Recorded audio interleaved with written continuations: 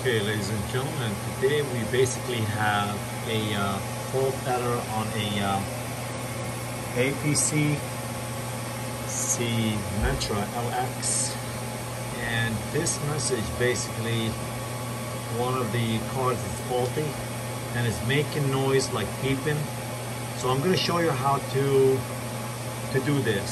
So the best thing is to do is you go by escape all right and then after escape we're gonna go display let's find it the display thing. All right press any key and we put escape display display. And there's a display okay. And then we're gonna say okay and then we're gonna go to the beeper and say okay. And you go down here and it says volume. See what it says? Off? On? Or you could change it to off. Okay?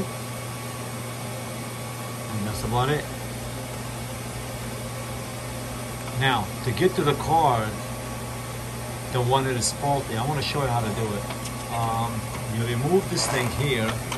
I only have one hand. Let's see if I can do it. Okay. You take the cover and you come down here. Since this is a redundant, it still works. And the one is faulty, you could see it's red right here. So you remove the Ethernet cable, okay? And there is one bolt right here you loosen it and you take the card out and you replace it. But since we already have a redundant one, it could still work. So it's on a back order, so it's coming soon and it's not cheap. Those cards goes over a thousand dollar, maybe fifteen hundred dollars. Okay, so this is what's happening. I hope this thing helps you guys. And uh, this is what APC looks like. All these batteries as a backup and show you in the back. And that's what this is. Okay, that's about it. And it shows right here.